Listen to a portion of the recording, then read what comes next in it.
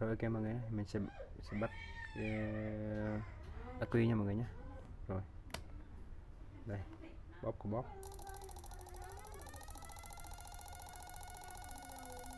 Đúng 500V mọi người ạ. À. 500V luôn. Đó.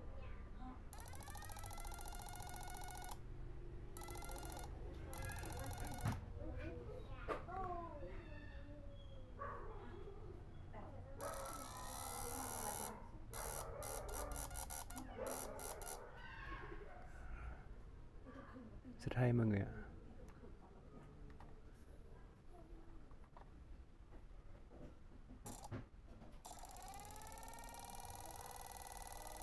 Đây là mức nhỏ nhất nha mọi người nhé Rồi mình sẽ tăng lên. Tăng từ từ thôi đứt cái, cái.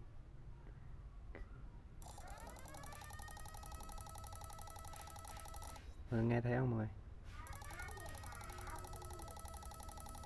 Đúng là băm sông dương nó nó khỏe hơn mọi người nhé.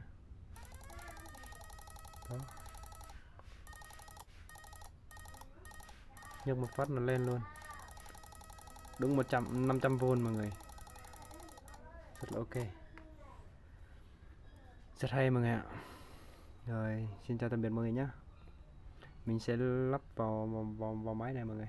Mình sẽ đi đi test thực tế cho mọi người xem nhé ok, chào tạm biệt mọi người. Mọi người đừng quên bấm bấm like và đăng ký kênh nhé mới nhá. Nhé xin chào.